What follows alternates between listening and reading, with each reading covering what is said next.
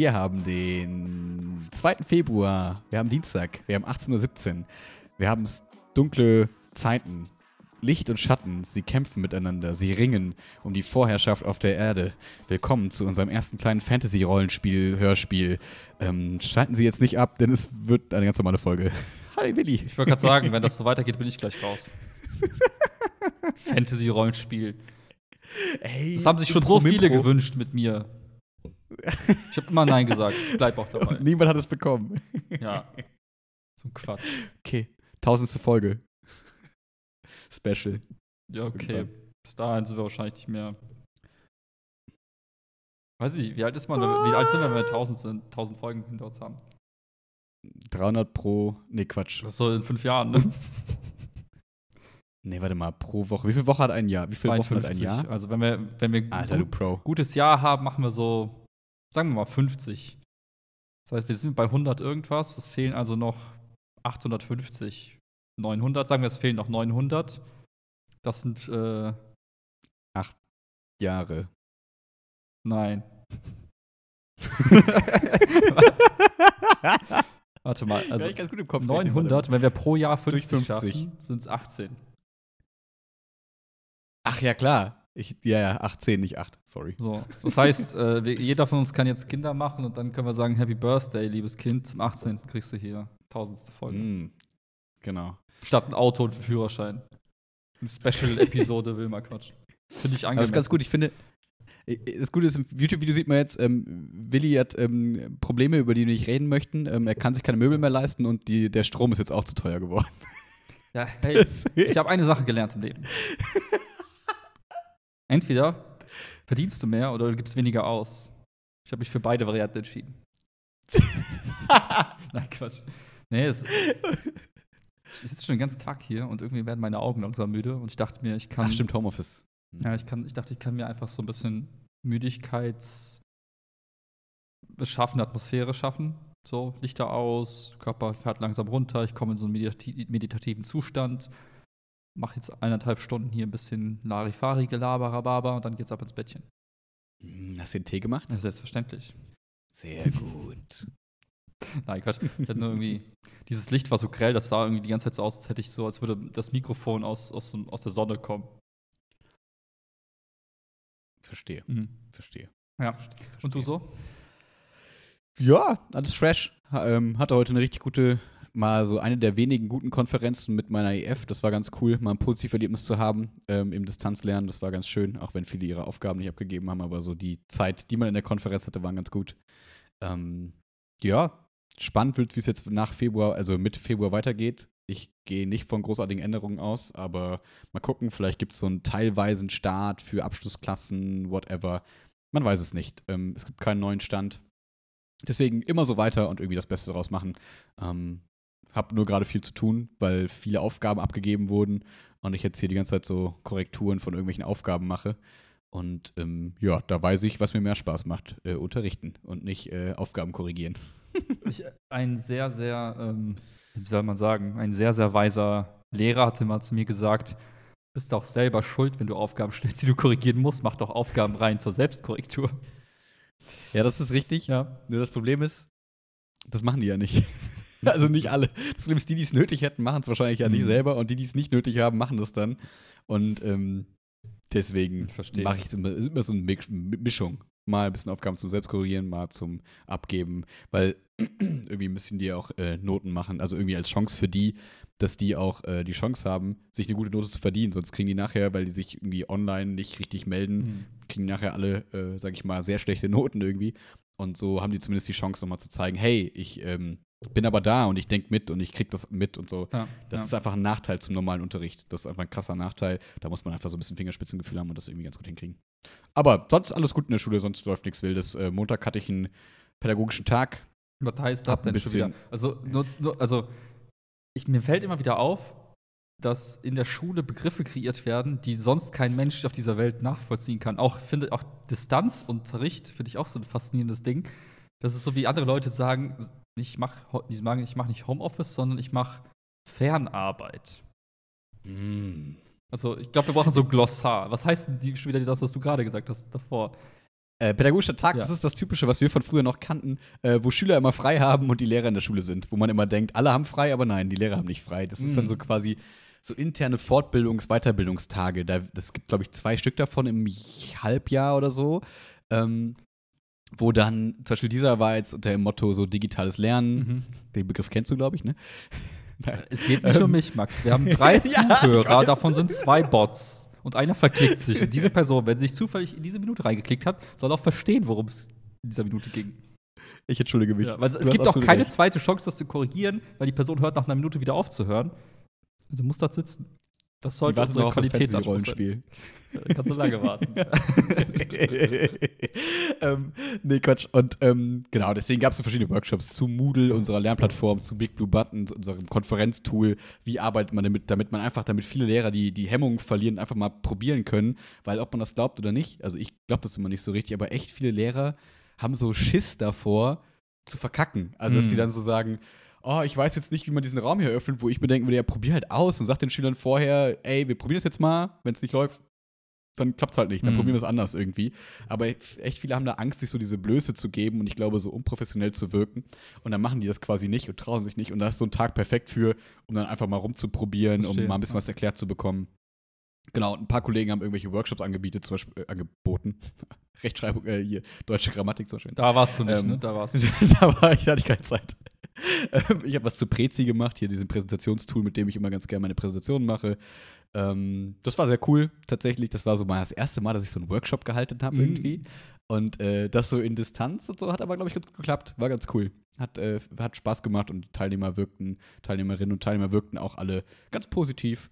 Und ähm, ja, es war halt eine Stunde. Das heißt, der Anspruch war sowieso, kriegt einen kleinen Einblick. Ja. Auch da verliert die Hemmung, euch mal ein bisschen rumzuklicken, euch kann nichts passieren und ihr habt jetzt hier die Chance, alle dummen Fragen zu stellen, die vermeintlich dumm sind Mhm. und wo ihr euch nicht äh, traut, das irgendwie sonst irgendwie zu fragen. Genau, und so ging der Tag dann rum. War insgesamt echt ganz cool. Ähm, nette Atmosphäre, aber es war halt auch einfach acht Stunden vorm PC sitzen. Ohne für mich, also das klingt so, klingt vielleicht doof, aber ohne für mich jetzt den allergrößten Mehrwert, weil das war natürlich viel Basic-Erklärung, was auch Mhm. vollkommen fein Mhm. war. Also was auch vollkommen fein war. Ähm, genau, deswegen war das einfach ein ganz netter Tag und äh, ich glaube, dass das für die Schule und für die Schülerinnen und Schüler einfach positiv sein wird, weil die jetzt einfach ein bisschen ähm, selbstbewusstere Lehrer im digitalen Lernen, sage ich mal, haben. Voll gut, ja. Ja. Genau. Das, das sonst geht in der Schule nicht viel. Sonst ist alles entspannt. Easy. Aber Vibes so insgesamt alle happy. Ich bin ein bisschen durch die Konferenz, bin ich jetzt ein bisschen, also durch die heute, durch diese Konferenz PDF bin ich ein bisschen äh, positiv gestimmt, Mhm. sage ich mal. Ähm, grundsätzlich nervt mich immer noch dieses Distanzlernen, also die, die Distanzlernen, nein, diese, diese Konferenzen mit den Schülerinnen und Schülern. Die, da sind viele unzufrieden. Ich glaube, die Schülerinnen und Schüler sind genauso unzufrieden, weil es einfach, weiß ich nicht, es ist einfach nicht die optimale Form so. Es ist halt einfach, man weiß, jeder weiß, es ist einfach ein Kompromiss Mhm. Und den ziehen wir jetzt durch und ich glaube, wir machen auch das Beste draus soweit, aber es ist einfach nicht so toll. Aber das ist nun mal so jetzt Ja. und ähm, mal gucken, wie lange das eben noch geht. Ähm, ja, ich finde es tatsächlich so besser, als ähm, was jetzt so ein bisschen in Aussicht steht, wenn es dann irgendwie Mitte Februar auf einmal mit so Hybridunterricht losgeht, mit so Wechselunterricht. So, man könnte sich auch vorstellen, dass so äh, die Hälfte der Klasse kommt in die Schule, die andere Hälfte ist zugeschaltet übers Internet Mhm. und dann in der nächsten Woche die an ist ein Wechsel. Und das fände ich super nervig, weil du wirst denen einfach nicht gerecht, die dann digital dabei sind, während du im Unterricht machst. Mhm. Also das ist, oder das muss man lernen irgendwie, musste man gute Wege finden und das Internet der Schule hält das eh nicht aus und dann hast du noch, also ich finde, entweder alle so Ja, oder alle, ja. alle da, das, das finde ich noch easy zu handeln, alles andere wird schwierig. Aber das wird sich jetzt so zeigen. Und Stimmung bei den Lehrerinnen und Lehrern ist, glaube ich, okay. Also sie sind, das pendelt sich irgendwie so ein, also wie bei mir auch. Mhm. Das ist so dieses, man ist nicht zufrieden, also jetzt nicht mega happy, aber es ist vollkommen okay. Wir hatten, vielleicht jetzt noch ein letzter Punkt, eine Sache war so ein bisschen doof, ähm, dass jetzt vermehrt irgendwie so ein bisschen so Angriffe kamen auf die Konferenzen, so, dass halt Leute dann irgendwie diesen Link hatten und dann vielleicht auch noch von irgendwelchen Leuten den, den, den Zugangscode bekommen haben Mhm. und haben dann so Konferenzen gesprengt, indem sie da reingegangen sind, irgendeine Scheiße gemacht ist und du kannst sie halt nicht IP bannen. Du kannst sie rauswerfen, aber dann können die einfach wieder reinkommen. Ähm, das ist super Mhm. nervig. Ähm, Und ähm, zum Glück ist mir sowas noch nicht passiert und ich hoffe auch immer, dass ich davon verschont bleibe. Ähm, aber dann ist das eben so. Nervig ist nur ein super Negativbeispiel, ist halt so, es war im Sportunterricht irgendwie ein reiner Mädelskurs und da sind da irgendwelche Jungs rein und äh, da waren Mädchen dabei, die irgendwie ihr Kopftuch nicht anhatte, weil da ja nur Mädels sind. Und das sind so Geschichten, die sind gerade so ein bisschen super kacke. Mm, Also das mm. ist einfach super, super scheiße. So. Ähm, ja, da muss man jetzt so ein bisschen Mittel und Wege finden. Das ist einfach blöd, weil du kriegst die Leute auch nicht, weil die ja mit irgendwelchen Fake-Namen drin sind und äh, da ist man dann jetzt, ist jetzt die Schulleitung gerade so ein bisschen mit der Polizei sogar dran, dass man so guckt, okay, wie kann man das irgendwie verhindern Mhm. und die Leute kriegen und so. Ja, das sind einfach so Nebenkriegsschauplätze, da bin ich immer ganz froh, dass ich da relativ verschont von bin Ja. und appelliere da auch immer so ein bisschen. Ich glaube, es ist das war das Gute, dass ich Pedda-Kurse habe und da sind nur coole Leute. Ähm, und ja, ich hoffe aber, dass ich mal verschont bleibe. Mal gucken, wenn sowas passiert, wie man dann damit umgeht. Aber Mhm. ähm, ja, das sind so diese Kleinigkeiten. Genauso wie das anscheinend irgendwelche DDoS-Attacken die ganze Zeit auf die Moodle-Server laufen, wo man sich denkt, ach Leute, warum ist das Mhm. notwendig? Ich Mhm. weiß nicht. Und dafür macht man es für alle irgendwie anstrengender. Mhm. Aber gut, ähm, wie gesagt, ich persönlich jetzt bin davon relativ also ziemlich unbetroffen, deswegen ist bei mir persönlich alles gut. Verstehe. Also der alte Willi, der von letzter Woche, wäre jetzt wahrscheinlich gerade innerlich auf 180 und hätte sich wahrscheinlich in den Kopf gepackt und sich gedacht, warum gibt es denn jetzt so eine Funktion, dass du Leute explizit reinlassen musst in einen Kurs? Gibt's tatsächlich. Du hast einen Warteraum. Hm. Hm. Aber das Problem ist, die können ja Namen von Leuten aus dem Kurs annehmen, dann lässt du die rein, Hm. sind die halt drin. Und dann machen die halt irgendwann Scheiße, wenn sie wollen. Also ist, du kannst das System immer irgendwie austricksen, Hm. obwohl das schon ganz okay ist. Es ist jetzt nicht, als würde das System mega kacke sein. Aber ja, Verstehe. heute haben wir Zen Willi. Ich mag Zen Willi. Ja, hilft ja nichts, ne? Das sind Dinge, die Ja, ich nicht ja beeinflussen nix. kann. Ich meine, ich kann mich jetzt darüber aufregen, über Entscheidungen, die getroffen wurden, zu bestimmten Computersystemen, die man in der Schule Mhm. findet. Aber wen juckt's? Also, wen juckt's, dass ich mich darüber aufrege? Niemand. Deswegen. Na, Zen. äh, wie gesagt, Meditation. und ich reg mich ja auch nicht. Also ich, ähm, Mhm. das ist halt so, ne? Ja, das ist, ist ähm, what is. Ich wüsste auch nicht, was es, also ich könnte jetzt ja auch nicht sagen, hey, wir müssen alle zu Teams wechseln oder zu Zoom. Die haben alle ihre gleichen Schwächen und so. Die haben vielleicht ein bisschen bessere Serverkapazitäten und ein bisschen stabileres System, aber alles Mhm. andere, da kannst du genauso abfacken. Also das ist, ähm, ich finde das System mittlerweile ist okay. Das läuft alles in Ordnung. Ja. Hauptsache, ihr seid zufrieden damit. Dann bin ich's auch. Okay, Mutter Teresa. Gar kein Step. Ja. Ja, was geht bei dir? Wie, wie, kam, wie kamst du in diese Stimmung? Wie war deine Arbeitswoche bis jetzt? Bist, ist, ist, ist da quasi zu viel Emotion rausgekommen oder ist es einfach relativ gechillt gerade? Hm, wie beschreibe ich es am besten? Nein. ähm,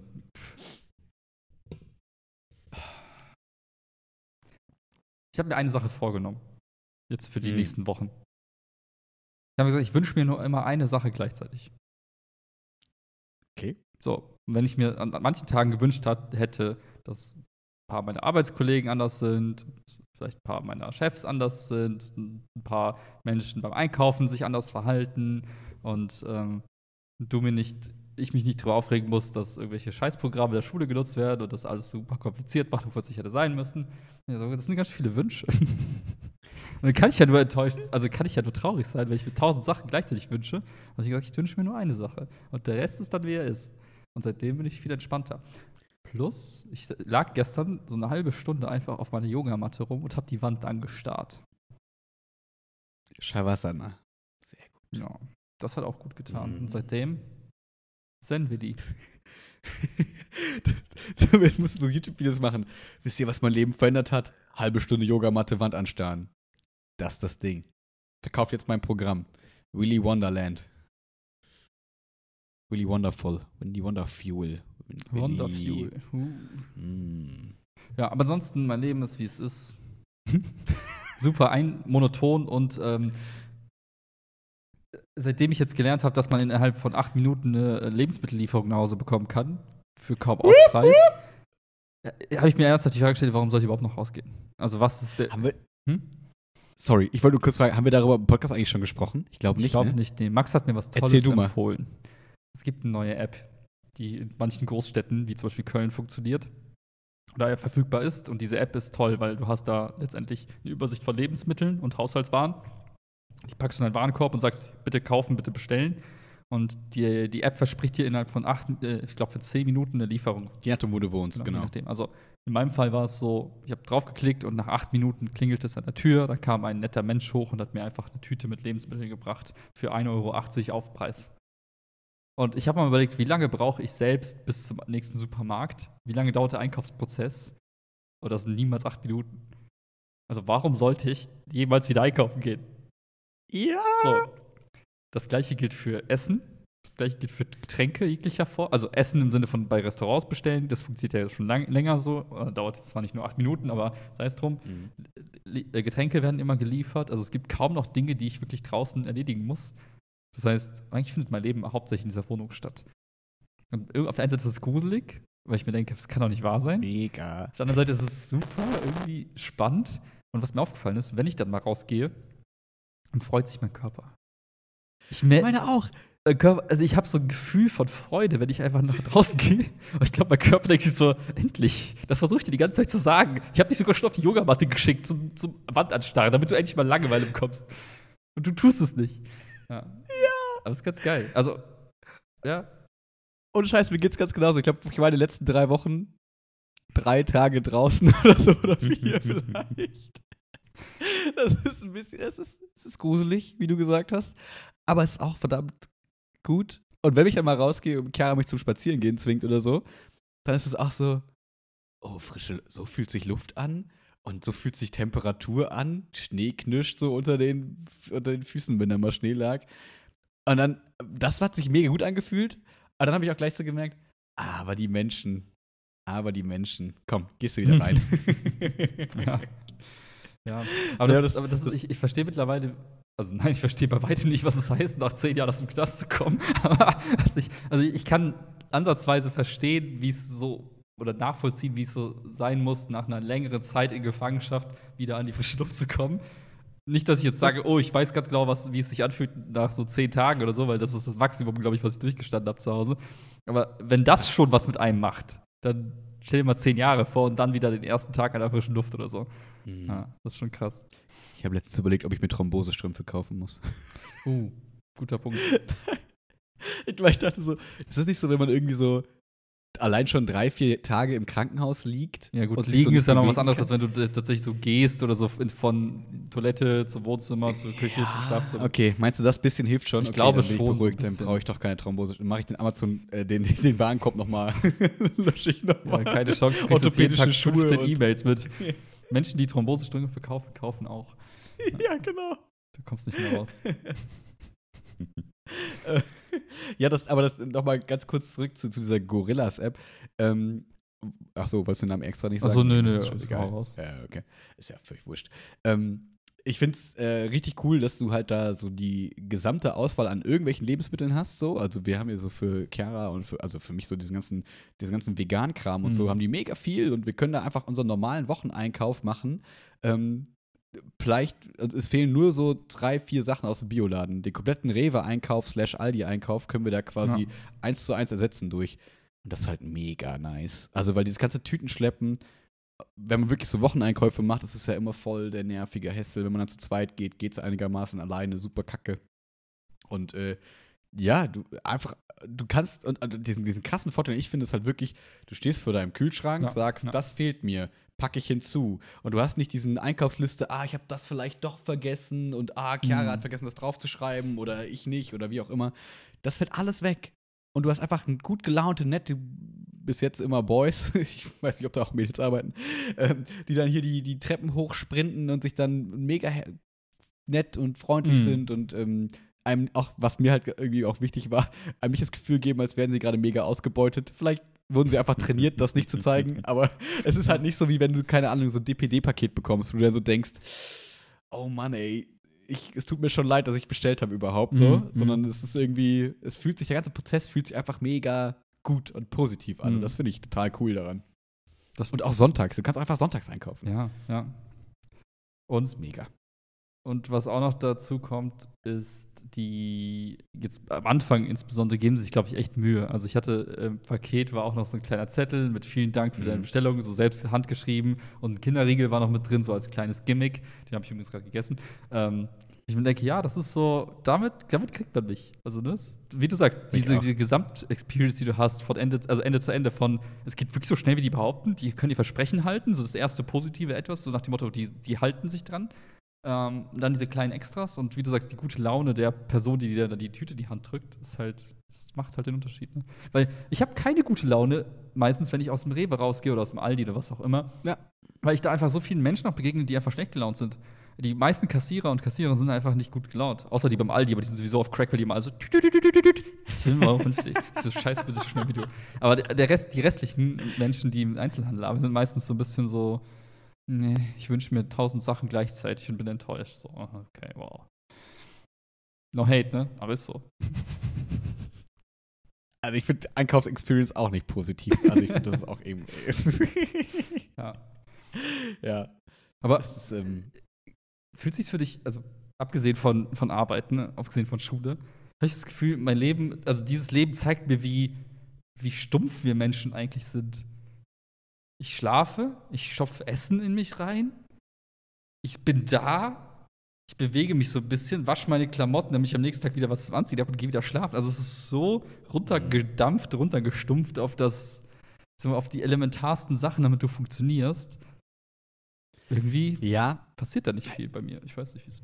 Ja, ich muss sagen, mein Leben sieht ja eigentlich oft schon so aus. Also, ähm, ähm, nur, dass ich halt den Rest der Zeit eigentlich oft mit Sozialem, mit Sozialem dann verbringe. Mhm. Und das ist halt so ein super komplexes, so ein super komplexer Bereich, der ja eh nie gleich ist. Das heißt, dieser ganze große, komplexe Bereich von Sozialem fällt halt komplett weg, so, ne? Auch bei diesen Konferenzen und Mhm. bei diesem Aufgaben hochladen, kommunizieren. Das ist das letzte, aber nicht großartig soziales Miteinander und soziales Lernen und wie auch immer. Und ähm, das ist ein Faktor, der mir ganz schön fehlt, wo ich Mhm. merke, das ist halt immer so eine spannende Herausforderung. Dafür gehe ich auch gern vor die Tür. Aber ich merke auch, wenn ich das halt nicht, wenn ich weiß, das erlebe ich nicht draußen, Ja. dann dich bin ich auch raus, ne? vollkommen fein. So, dann merke ich halt, okay, ich habe mein Leben lang trainiert, mit dieser Situation so umzugehen und das ist vollkommen fein. So, ich kann meinen Sport ist nicht so nice. Also ich würde auch lieber wieder das Soziale. Das wäre halt viel cooler, gemeinsam mit den Leichtathleten so in der Halle Sport Mhm. zu machen. Ich freue mich, erstmal wieder eine Matte anzupacken und so. Aber ich sehe die trotzdem jeden Donnerstag, jeden Mittwochabend da am iPad und kann mit denen irgendwie ein bisschen zusammen sporteln und ein bisschen interagieren. Wie gesagt, ersetzt es nicht eins zu eins, aber vieles von dem, was mir wichtig ist, Mhm. konnte ich halt quasi einfach ersetzen. Hm. Und diesen sozialen Aspekt, den vermisse ich ein bisschen. Aber da weiß ich, also bin ich halt nicht so negativ wie manche, die sagen, das werden wir nie wieder so haben wie jemals zuvor. Und so. Wo ich denke, ja, das kommt halt wieder. Okay, da freue ich wow. mich drauf und ähm, das, das, das wird gut. Und ich habe einfach eher Freude darauf und habe nicht so dieses Vermissensgefühl, Mhm. habe nicht so dieses, oh, das brauche ich mal wieder, sondern mehr so, hey, ich freue mich, wenn das wieder so kommt und ähm, bis dahin versuche ich so gut zu substituieren, wie es eben geht und zu gucken, okay, wie kann ich mir trotzdem eine gute Zeit machen. Hm. Ja, deswegen passt das eigentlich soweit. Aber wie du sagst, daran merkt man auch, dass man nicht der komplex, also dass man nicht den komplexesten Tagesablauf sonst so hat. Nee, nee, nee. So gar nicht. Also, das ist, ist ja auch kein, ist ja nichts Schlimmes. Ich finde das manchmal, also Ja. mir hat es auch mal ganz gut getan, nochmal das so, so in, in reinster Form mal zu sehen, was man eigentlich, also was eigentlich Leben heißt. Jetzt mal, wenn man genau das weg, weg rationalisieren muss, was man eben nicht mehr haben kann, also diese ganzen sozialen Interaktionen und man ist mit sich selbst, dann stellt man fest, okay, ich bin eigentlich funktioniert ziemlich simpel. Futter in mich rein, lass mich ein Ja. bisschen schlafen und dann wandere ich hier so von A nach B rum wie so ein Sims. Ähm, manchmal komme ich mir echt so vor. Werden wir alle gesteuert, was? Nee, aber ich, hätte ich jetzt Spiegel, würde ich wahrscheinlich den ganzen Tag gestikulieren vom Spiegel, aber das Glück habe ich kein. Zum Glück hast du keinen Pool, wo jemand die Treppe wegbaut, dass du halt quasi Mhm. stundenlang im Pool schwimmst, bis du ertrinkst. Ich gehe viel häufiger jetzt baden, also ich nehme jetzt so Schaumbäder regelmäßiger. Hm, das sehe ich. Du hast einen sehr guten Hauttyp. Danke. Ich habe gerade wirklich kein Scheiß, ich habe momentan die schlechteste Haut, die ich seit Jahren hatte. Ernsthaft? Wirklich überall. Äh, ich habe mich ja letztens wieder so, so komplett nass rasiert, das habe ich häufiger nicht mehr gemacht, also lange nicht mehr gemacht. Dann war wieder alles so voller Mhm. so Ist Mini-Pickelchen. nicht so geil, so. ne? Nee, Ja. ist echt nicht Mhm. geil. Ey, Gillette, mach mal was. Mhm. Gibt's doch. Die haben doch das One-Blade-Ding. Ja. Nee, das wäre anders, ne? Das ist so, ja, keine Ahnung, wer es hat, aber es ist immer, oh, der neue Rasierer, der macht alles anders. Und dann probierst du aus, denkst du so, ah, es juckt trotzdem und tut weh. Ach, du meinst nass. Ja, ich kann echt nur dieses One-Blade-Ding empfehlen. Das, Das ist echt ganz geil. Dieser elektrische, der kostet nicht viel, ist nicht so fancy wie diese ganzen mit diesen Rundkreisen und so, den braucht keine Sau. Und das, äh, der macht solide Arbeit. Hm. Ja, ich habe so ein äh, so 20 in 1 Rasiergerät, so damit kannst Mhm. du auch so ganz kurz und dann einfach Ja. Bart trimmen. Aber es ist halt ein Unterschied, ob Ja. du halt wirklich so die Haut mitschnibbelst mit so einem Rasierer oder ist einfach nur so ein bisschen gekürzt. Genau. Und ich habe mich mit dem Kürzen schon lange angefreundet. So. Ich habe alle paar Wochen stimmt, oder paar Monate denke ich mir so, ja, kannst mal wieder nass machen, warum nicht? Hat es vielleicht geändert seit dem letzten Mal. Und dann merke ich wieder, ne, hat sich gar nicht geändert, ist genauso scheiße wie vorher. ich finde, dir steht das auch mehr. Also ich finde, du kannst das besser tragen, so äh, naked, naked face. Ja, weil ich habe so viele Deswegen. Hardcore-Sorgefalten auf der Stirn, die Hm. lassen mich dann nicht so kind, kindlich aussehen. Ich will nicht sagen, dass du äh, jünger, sehr viel jünger aussiehst, wenn du komplett, weiß ich gar nicht, habe ich ewig nicht so gesehen, aber, Unverbrauchte. aber ich sehe halt schon so verbraucht aus, dass es funktioniert, ja. ja, wir sehen in unserem Leben immer, was wir schon geleistet haben. Und du hast einfach schon sehr viel geleistet. Tja, weiß ich nicht, würde ich so nicht unterschreiben, aber auf jeden Fall habe ich die Fall. Deswegen sag ich das. Wir werden jetzt auch bald 30, ne? So ist nicht. Aber scheiß drauf, reden wir nicht darüber. Hälfte ist dann, äh, Drittel ist dann, nee, Viertel. Fünftel ist dann rum vom Fünftel, Leben. Ja, Fünftel. ja, seien wir mal realistisch. Also, Sagen wir mal realistisch ein Fünftel, ja. ja. Ja, ist so. Ich weiß gar nicht, also ich finde alles andere ist lächerlich, wenn man jetzt unterstellt, wir würden nicht 150 werden. Exakt. geht ja denn Wir aus? sprechen uns in äh, 120 Jahren. neun- 39 Folgen oder so. Äh, 39.000, keine ich kann nicht, ist egal. Ja, irgendwann. 18 Jahre, 39 Jahre, 1000 Folgen, whatever, keine Ahnung. Bald. Demnächst. bald, bald, Demnächst. genau. Ja. Ähm, ich wollte dir noch mal vom, ähm, vom Flossikers Stammtisch erzählen, ähm, der letzten Hm. Freitag war. Und ähm, wo du übrigens herzlich eingeladen bist, das nächste Mal dazu zu kommen. Und äh, jeder, der Bock hat, so ein bisschen da mal äh, mit netten Leuten einfach zu quatschen. Weil ich habe, wir haben so ein bisschen an dem Tag Abend besprochen, so Vinny und Coco meinten so, eigentlich wollen wir das hier viel offener haben, aber irgendwie sind wir doch immer die gleichen. Mhm. Wo ich dachte, ja, dann nenn's halt nicht Stammtisch. Weil Stammtisch klingt halt voll nach, wir treffen uns mit unserer eingeschworenen Gruppe und reden über Fußball. Keine Ahnung, wonach klingt Stammtisch oder Biersorten. Ja, Weiß ich nicht. genau das. Ähm, und ähm, ich finde, sowas, das vermittelt das so ein bisschen, obwohl die es halt auf Instagram und so ganz anders propagieren und sagen, hey, da ist es wieder, kommt vorbei und so. Aber ich finde, das Wort Stammtisch denkt man immer was anderes, als das dann nachher ist. Also das war quasi vom Ablauf so, haben, wir haben so ein bisschen drüber gesprochen, was jetzt die nächste Zeit so ansteht, so an größeren Flowseekers-Events und was da vielleicht so gemacht werden kann und gemacht werden sollte. Und danach haben wir einfach nur äh, ein bisschen Scribble-Yo gespielt, ein bisschen Codenames gespielt und einfach einen netten Abend mit guten Leuten gehabt. So. Hm. Deswegen, ähm, das ist sowas, wo man auch immer mal dazu kommen kann, wenn man Bock hat, sich Was so ein ist bisschen. das? äh, Scribble-Yo und äh, Dingsbums? Äh, Scribble.io ist quasi so das wahrscheinlich das beliebteste Spiel gerade im Internet. Das ist Montagsmaler quasi einfach. Ah, okay. Mhm. Ähm, halt online. Und äh, Codenames ist so ein Spiel, das gibt's auch, also gibt's auch offline. Ähm, da bist du in zwei Teams. Einer ist der, der Master und du erklärst so entweder, also wie soll ich sagen, ähm, du hast zwei Teams. Einer ist immer der Chef in diesem Team und ähm, du hast so ein bis zwei Leute, die halt in diesem Team dann noch drin sind. Mhm. Und die beiden Spy Master sehen quasi so eine Anordnung von, von, von Farben auf so einer Karte. Mhm. Und vor dir liegen so 16, 17 Karten, 16, 18 Karten mit so Namen drauf. Äh, Baum, äh, Ägypten, Korea, ähm, äh, Bildschirm, äh, Podcast, keine Ahnung. Mhm. Und dein Ziel ist es quasi, dass dein Team deine Begriffe, die dir quasi als Spy Master farbig markiert sind, ähm, die müssen die erraten. Und du musst ein Wort nennen, womit die möglichst viele Wörter erraten können. Das heißt, ich sage zum Beispiel dann Natur 4. Und dann, müsst, dann muss mein, meine Leute müssen dann rätseln, okay, er meint bestimmt Baum, er meint, äh, in Ägypten gibt es Palmen, meint er auch Ägypten, na, ich weiß nicht, lieber eher nicht, äh, lass uns lieber noch Käfer nehmen und das und so. Und ähm, da gibt es halt auch ein schwarzes Wort, wenn du das triffst, hast du verloren oder neutrale Begriffe, wenn du das, nimm, wenn du das Okay. nimmst, dann ist die Runde vorbei. Und so rätselst du dich quasi, dass du alle deine Begriffe nachher errätst und ähm, genau. Also- das ist Codenames. Das ist ganz cool. Man könnte sagen, da hat es ein bisschen Brettspielcharakter oder so ein bisschen Gesellschaftsspielcharakter. Total, es ist ein Gesellschaftsspiel. Okay, ich Das bin auf jeden Fall raus. astreines Das ist voll lang Gesellschaftsspiel. für mich. Ich weiß. Aber das wäre eins, das, das wäre, glaube ich, okay für dich auch, weil Ja. das ist einfach mehr Interaktion als jetzt irgendwie, wir ziehen irgendwelche Figuren von A nach B und äh, so. Aber naja, Mhm. wir kennen dich. Es wäre auch nicht. Vielleicht könnten die einfach einen Clubhouse-Room aufmachen. Das wäre tatsächlich eigentlich eine Idee. ne? Ja, das, also das wird es ja also für den ersten Part auf jeden Fall ganz gut. Hm. Also wenn Das noch Invites braucht, ich habe noch ein paar. Das, das stimmt tatsächlich. 400 Aber ist Euro, nicht was? Clubhouse mittlerweile wieder out oder zumindest oder äh, beziehungsweise eher äh, so ge, ge, wie soll ich sagen, gehatet, dass es ähm, nicht mehr on fleek ist, wie, wie der 2000er sagt? Ich glaube, da ist schon noch so ein bisschen was so dran. Aber ich fand einen Tweet letztens ganz lustig, der es eigentlich auf den Punkt bringt. Bei Clubhouse hast du so ganz viele C-Leute, die B-Leuten drüber zuhören, wie sie über A-Leute reden. Hm. verstehe, was du meinst. Und genau das Phänomen habe ich auch beobachtet. Das sind also voll viele Möchtegerns, die so gerne so cool wären wie vielleicht andere Leute und die ganze Zeit so, oh, irgendwie so geil, äh, hört mir zu. Und dann gibt es diese ein, zwei Special-Abende, wo dann, keine Ahnung, habe ich das letztes gesehen, irgendwie Thomas Gottschalk mit dem und dem, so eine witzige Kombination ist, wo dann so, was so Leute zieht, wo man so sagt, okay, da ist irgendwie ein krasser Abend. Gest Oder gestern war super entscheidend. lustig. Ich habe es nicht gehört, ich habe nur die, die Zusammenfassung nachher gelesen. Da war Elon Musk, der den CEO von Robinhood interviewt hat. Ah, Krass. war- ich habe nur gesehen, dass er, dass er bei Clubhouse Online gehen will. Ich habe nicht gesehen, dass es mit dem Robin Hood-Typen war. Auch, auch. Der war dann auch mit dabei und dann hat Elon den richtig gegrillt. So hat so richtig fiese Frage gestellt.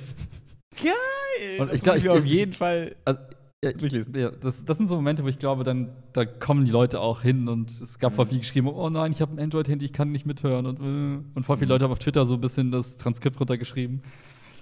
Ach, witzig. Das muss ich mir tatsächlich nochmal angucken. Ähm, ja, ich weiß nicht, mit dem Datenschutzkram habe ich mich jetzt nicht weiter beschäftigt, außer dass ich es gelesen habe. Ich glaube, was so gerade kritisiert wurde, war, dass die das ähm, Telefonbuch auslesen, wo ich mir aber dachte, das machen doch mega viele Apps irgendwie, oder nicht? Ähm, das habe ich nicht ganz verstanden. Aber ja, ich, die, auch- ich die, glaube, es ging die darum, dass zeigen die dir, quasi wie schon so viele von den, von, also, wenn ich dich da sehe, also wenn ich, wenn ich mein Telefonbuch synchronisiere, steht da Max Pelzer, 40 Kontakte von Max Pelzer sind auf Clubhouse.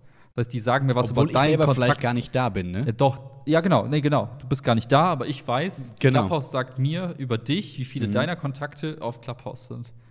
Mhm, mhm, mhm, mhm. Und so hast du quasi so wie Leute, die nie zugestimmt haben, da zu sein, sind quasi trotzdem irgendwie da. So, ne? Weil wenn du jetzt da bist und ich bin da Ja, und wir haben zum Beispiel Chiara beide als Kontakt, mhm. dann hat quasi die App trotzdem Chiara drin, weil sie weiß, Map die auf dich und auf mich. Und Genau. sagt uns, Und sagt dann- ja, ja, ja. Genau. Also es steht nicht Und ich drin, glaub, welcher deiner, wer die Kontakte sind. Ja. Das steht nur 40 aber Leute. eine Zahl steht da. Ja, irgendwie so. ja. Mhm. Ja, irgendwie. Oh, ja, mehr bin ich auch nicht drin, keine Ahnung. ich muss hab's ein, eines, gesehen, einmal muss ich mich doch mal ganz kurz aufregen für eine Sekunde. Ja, endlich. Wenn, Reicht jetzt auch, ja. Wenn dein Zahnarzt des Vertrauens dir sagt, Karies sollte man so und so behandeln. Ich habe da eine Meinung zu. Cool. Mhm. Morgens Amex, abends Aronal zum Genau. Beispiel. Wenn Leute wissen, wie Technik funktioniert und sagen, oh, da ist eine Sicherheitslücke, das könnte irgendwie kritisch sein, sagst du, ah, du bist ein Hacker, ich vertraue dir. Wenn in Deutschland jemand sagt, oh, Datenschutz, dann denke ich mir so, oh, Alter, du hast Halt's Maul. Also ich, ich, es, gibt, es gibt wenig Menschen, glaube ich, insgesamt auf der Welt, die Ahnung von dem Thema haben und die wirklich drüber reden sollten. Und oft hörst du halt so Sachen, wo du denkst, du hast es doch 100% nicht durchdrungen. Bitte sei leise, bitte rede nicht darüber. Und das, dafür habe ich nicht so viel Verständnis. Ich meine, wir machen das hier im Podcast die ganze Zeit. Ja. Aber das, ist, das kaufst du, das weißt du. Du kommst hier hin, um dir Ja. das. Deswegen kommt auch keiner, weißt du? Hier sind nicht Datenschutzexperte Willi und Max, die sich Nee. darüber äußern, wie datenschutzsicher ist Clubhouse, sondern es ist eher so, ja, Ja, du, Meinungsaustausch. du, nee, genau, du hast ja aufgeschnappt, da ist irgendwie ein Thema, dann sagen wir ja, was könnte es sein, aber gut. So, aber es Ich weiß, Datenschutz ist echt, also, das ist so geil. Irgendwer hat mal geschrieben, äh, das, was Europa versucht hat, hat Apple hinbekommen. Und Europa hat es nur geschafft, Cookie-Banner zu implementieren. Das so gar nichts bringt. So wirklich gar nichts, nada, niente, nix. Das ist so geil. Und die jedem auf den Sack gehen. Also, also ganz ehrlich, ich, ich kenne ich kenn eine Firma, die macht auch Software. So. Wenn du nachvollziehen willst, wer wie klickt, dann brauchst du keine Cookie-Technologie für. Null. Nada. Du kannst die Leute tot tracken. Du brauchst keine Cookies. Und das passiert die ganze Zeit. Diese Cookies sind irrelevant. Nur das ist für Cross- Cross-Site-Dingsbums. Auch das kriegst du anders gelöst. Und das ist so. Aber das habe ah. jetzt ich verstanden. Ja. Und da dachte ich mir Okay, so, ey ja. Leute, das haben, da haben wir wieder so diese drei Idioten hingesetzt und gesagt, wir machen jetzt eine Datenschutzrichtlinie und machen Cookies, verbieten Cookies und bringt halt einfach einen Scheiß und killt jede, Ex- jede Nutzung von irgendwas. Ich hasse das Internet. Egal, wo du Ja. hingehst, erstmal ein Cookie-Banner in your face.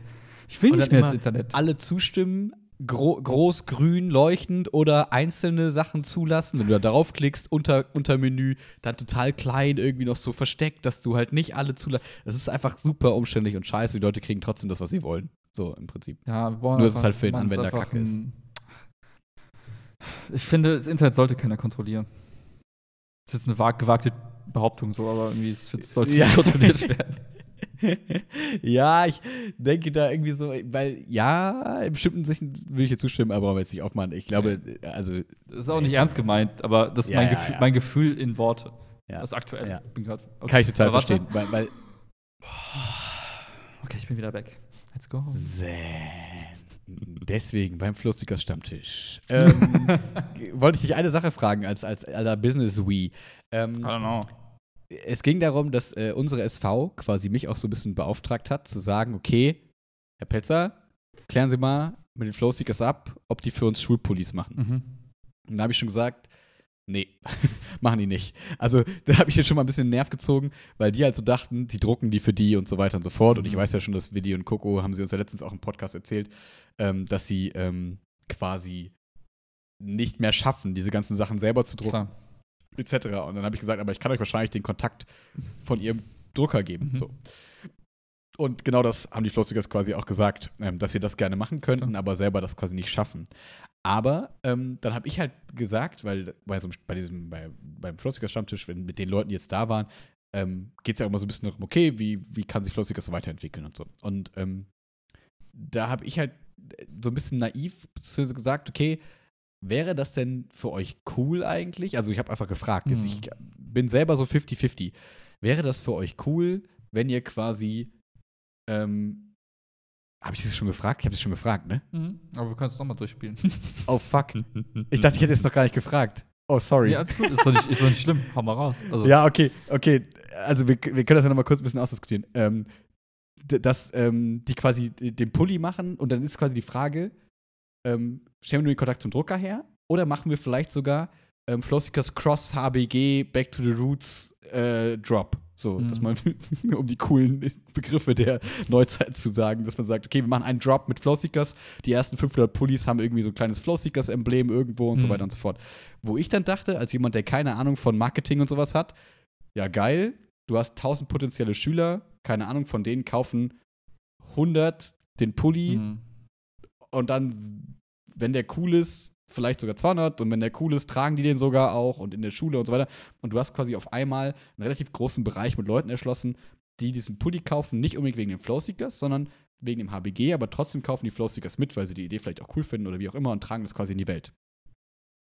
Dachte ich, ist voll smart, weil du einfach das erweiterst und es in meinen Augen dadurch auch irgendwie zur Marke passt, weil es ja schon so, dass die noch so ein bisschen klein, Heimat, ein Mhm. bisschen verbunden, aber trotzdem auch quasi dieses, genau, so.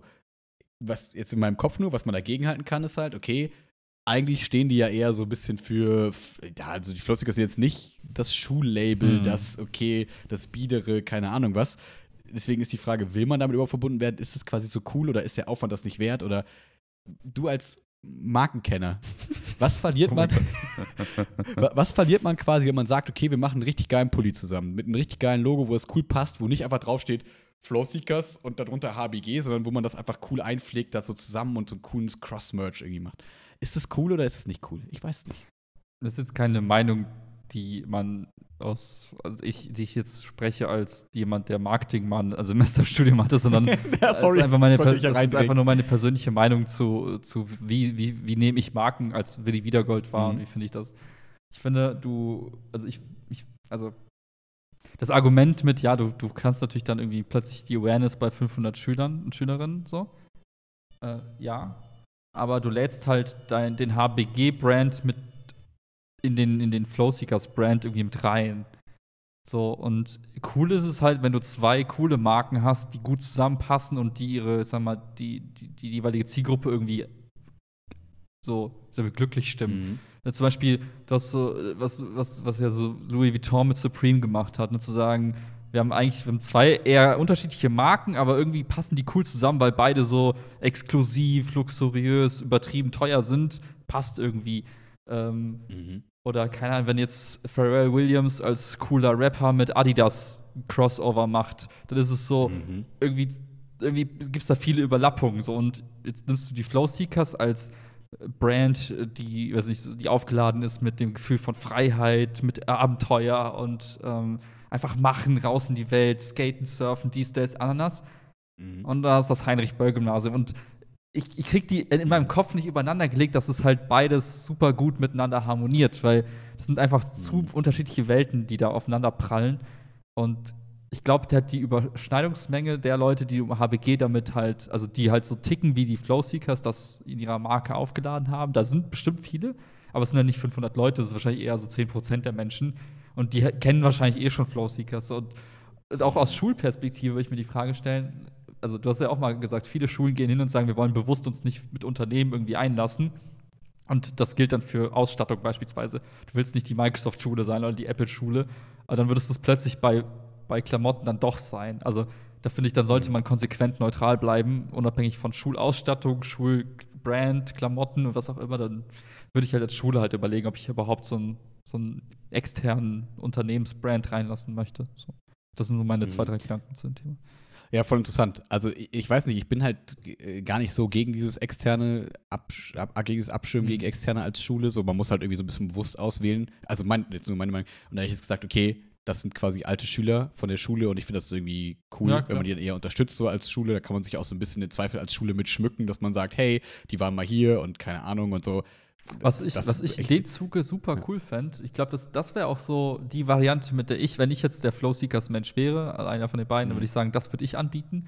Ich würde sagen, liebe, liebe Schülerinnen und Schüler, wir machen äh, gratis Workshop-Tag, wie auch immer, an einem Samstag oder was auch immer. Äh, und wir bringen euch an einem einen Tag oder am Wochenende bei, den gesamten Prozess von ich entwickle ein Logo bis hin zu ich mache eine Order und, und nehme die Ware entgegen wir, wir helfen euch dabei, wir supporten euch quasi mit Workshops und vielleicht auch im Prozess selber und haben aber an sich mit dem, also mit dem Ergebnis nichts zu tun, dass wir sagen, das ist jetzt von, Flow, von den Flowseekers, sondern wir haben euch dabei geholfen, geben so ein bisschen was zurück mhm. an die Schule, weil das Metier ist ja dasselbe, du produzierst halt irgendwie Textilien am Ende des Tages. Und da können die ja helfen, aber es muss ja nicht dann deren Textil sein, was am Ende dabei rauskommt. Und sowas mhm. fände ich cool. Da hättest du ja auch dann, kannst du ja auch Aushänge machen und sagen, hier Workshop, freiwilliger Workshop am Wochenende mit den Flow Seekers. Und dann hättest du auch so ein bisschen die Awareness bei den Schülern geschaffen. Mhm. Sowas könnte ich mir gut vorstellen. Ja, ja es, ist, es ist einfach spannend. Da merke ich halt, wie ich selber nicht so ich bin, glaube ich, nicht der, der clevere Entscheidungen treffen würde für sowas, weil irgendwie, ich glaube ich, da einfach alles machen. So wird mir denken, hey, das ist irgendwie cool, machen wir. So, wenn, also wenn jetzt, sag ich mal, jetzt finanziell für alle irgendwie Sinn macht, also wenn das jetzt, also sag ich mal, jetzt keiner irgendwie groß mit Mehrkosten da rausgeht oder sonst irgendwas. Ähm, aber ähm, ja, bin ich mal gespannt. Ich habe jetzt, ich habe dann den Schülern jetzt gesagt, sie sollen denen mal eine Mail schreiben und ihr Anliegen genau schildern. Ähm, mhm. Ich glaube, die Mail wurde noch nicht geschrieben. Ich bin gespannt, wie das dann wär, so wär ist. Wäre ja auch eine coole Erweiterung für das, man macht ja immer so Aktionen, um die Abi-Kasse zu füllen. Du könntest auch sagen, mhm. jeder Abi-Jahrgang kreiert so eine Art Abschlusspulli oder sowas. Und die anderen mhm. können den halt kaufen für einen Euro mehr mhm. oder was. So Sachen, dann hättest du so eine Abi-Kasse äh, gefüllt. Oder du machst halt Non-Profit-Style, dass du sagst, Herstellungskosten und dann wird durchgewunken. So. Ja, was wir jetzt halt machen wollten, unabhängig vom Abi, von einfach so ein bisschen so Schulpullis. Unsere Schüler sprechen das so ein bisschen, äh, ja, kommt, äh, war in Amerika und so, ne, habe ich erzählt und so. und ich glaube, daher kam dieser Gedanke auch so ein bisschen. Und auch generell, ich finde das eigentlich auch ganz cool, wenn man einen coolen Schulpulli oder cooles Schulmerch hat, finde ich das irgendwie eine ganz nette Idee. Ähm, das wertet es irgendwie so ein bisschen auf.